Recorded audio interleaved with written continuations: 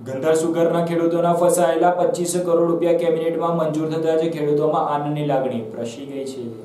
ગંધાર સુગરના ખેડૂતોના ફસાયેલા રૂપિયા પચીસ કરોડ કેબિનેટમાં મંજૂર થતાં આનંદની લાગણી પ્રસરી ગઈ છે. ગંધાર સુગરના ખેડૂતોના ફસાયેલા રૂપિયા પચીસ કરોડ કરજણના પૂર્વ ધારાસભ્યની રજૂઆતથી નાયબ મુખ્યમંત્રીએ કેબિનેટમાં મંજૂર કર્યા છે.